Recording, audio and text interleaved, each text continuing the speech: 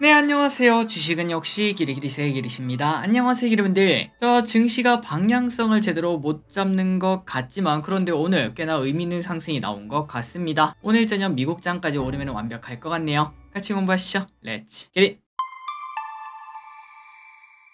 오늘 코스피는 1% 상승, 코스닥은 무려 2.1% 상승으로 오랜만에 상승다운 상승을 해냈고요. 그리고 양대 딱 봐도 개인은 전부 다 1조 원 가까이 매도했고 외국인과 기관 쓸어 담았습니다. 그래서 결국 코스피 2518 다시 2500 라인을 뚫고 올라가 121선을 코앞에 두고 있고 오늘 저녁 미국장이 진짜 오르고 마감되면 다음 주 한 번 더 큰 상승이 나타날 수도 있겠죠. 기대해 보도록 하겠습니다. 그리고 삼성전자도 귀신같이 21선을 다시 또 밟고 올라와 72,600원인데 다시는 신고가 좀 제발 내줬으면 좋겠습니다. 코스닥은 830으로 여기도 강하게 반등을 했고 에코프로비엠 오늘 오랜만에 힘 좀 썼습니다. 3.8% 상승. 그리고 일자별 수매수를 보도록 하겠습니다. 개인 매도, 외국인 기관, 연기금 다 매수를 했고 그렇다면 연기금 뭘 샀나? 800억이나 매수했는데 삼성전자, 에코프로, 셀트리온, 하이닉스, 포스코 퓨챔을 매수했습니다. 다음으로 매도한 것은 LG전자, NC소프트, LG엔솔, 삼성화재, S-Oil을 매도합니다. 오늘의 증시 포인트입니다. 어제 미국장이 좋은 흐름을 나타내며 오늘 우리도 좋았습니다. 그래서 어제 미국장이 좋았던 이유가 뭔가? 바로 제미나이 출시에 구글이 5.3%나 상승했고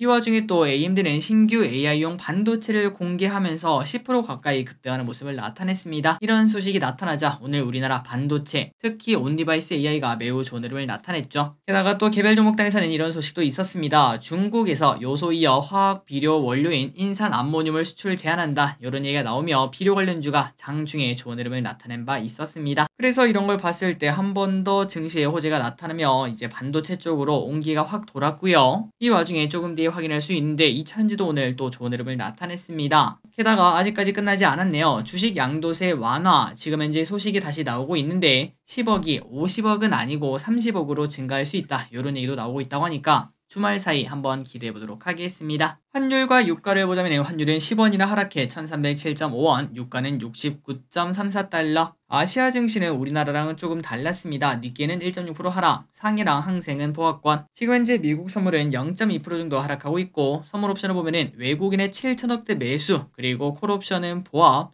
풋옵션은 매도하는 모습을 나타내 다음 주도 가겠소 이렇게 말하고 있습니다. 쇼핑을 보겠습니다. 개인 곱버스, NC소프트, LG전자, 코스닥 인버스, 고려아연, 이오플로우, SK텔레콤, 코스닥 곱버스, 마녀공장, 한국앤컴퍼니, 삼성화재를 매수합니다. 다음으로 외국인입니다. 삼성전자, 코덱스 200, 기아, 두산 로보틱스, 삼성전자우, 네이버, 에코프로, 셀트리온헬스케어, 에코프로비엠, 카카오, 삼성물산을 매수합니다. 마지막으로 기관입니다. 삼성전자, SK하닉스, 셀트리온, 에코프로, 에코프로비엠, 포스코홀딩스, 네이버, 카카오, 포스코 퓨챔을 매수합니다. 주요 일정입니다. 다음 주 월요일은 윤 대통령 네덜란드 국빈 방문 원전에 관련된 이야기가 나올 수 있고 그리고 화요일에는 드디어 LS 머티리얼즈 상장합니다. 요 친구도 와 따따블을 한번 보여줄지 한번 기대해 보도록 하겠습니다. 오늘의 섹터입니다. on-device 너무 뜨거웠죠? 그리고 비료와 의료기기 관련주 on-device가 좋았습니다. 구글 AMD 신제품 출시에 AI 및 반도체 상승 이러한 기대감을 받고 제주 반도체 26% 급등 퀄리타스 반도체 19% 급등 오픈 엣지 테크놀로지 14% 상승, 칩스앤미디어 8% 상승, 가온 칩스 6% 상승, 리노공업 4% 상승, 그리고 SK하이닉스와 한미반도체 등 이러한 큰 기업들도 좋은 흐름을 나타냈습니다. 각각 1%, 2% 올랐습니다. 자, 이 부분은 우리가 계속 공부를 했었습니다. 지금 앞으로 한 두세 배 올라갈 확률이 가장 높은 친구들이 누군가 그 중에 몇 개를 꼽으라면 무조건 on-device AI가 들어갈 수 있다고 미리 말씀을 드렸죠. 물론 보시다시피 최근 들어 좀 많이 오른 거 아닌가 이런 생각이 들 수도 있지만 그래도 이제 올라가는 친구들이 계속 올라가는 거 아마도 기름들 알고 있을 거라고 생각합니다. 이 친구들 어디까지 올라갈 수 있을지 한번 주말에 고민할 필요가 있겠네요. 비료 관련주가 좋다가 말았습니다. 중국 비료 원료도 수출 통제한다는 소식에 오전에 급등했고 마지막에는 쭉 미끄러졌으나 하지만 뭐 양봉은 지켰네요. 남해화학 6% 상승,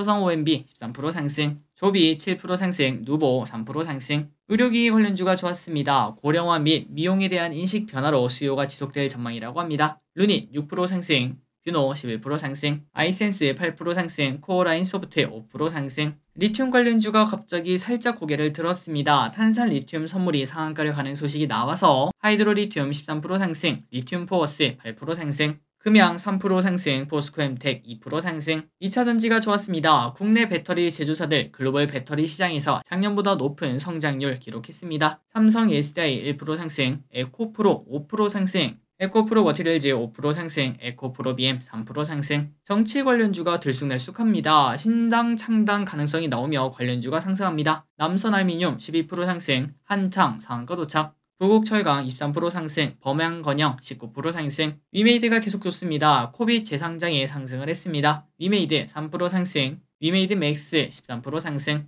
위메이드 플레이 8% 상승합니다. 베셀이 상한가에 도착합니다. 주주 우선 공모에서 최대 주주가 100% 청약하며 증거금까지 납입을 했다고 합니다. 상한가 도착. 최근 들어 엔화가 오르고 있다고 합니다. 마이너스 금리 종료 기대감에 엔선물이 상승하고 있다고 하네요. NC소프트 오늘 8% 넘는 급락을 합니다. 역시 게임이 출시하고 나면 바로 주가가 빠지는 징크스 이번에도 증명했습니다. 쇼박스 6% 상승합니다. 오징어 게임 2 세트장 공개 소식에 상승했다가 쭉 미끄러졌습니다. 오늘의 시황전이 여기까지 끝났습니다. 이번 주말 와 이렇게 쉬다라 싶을 정도로 푹 쉬시고 오늘 저녁 미국장 매우 중요하겠네요. 혹시나 공부할 거 있으면 또 내일 만나 뵙도록 하겠습니다. 지금까지 길이셨습니다. 빠이요!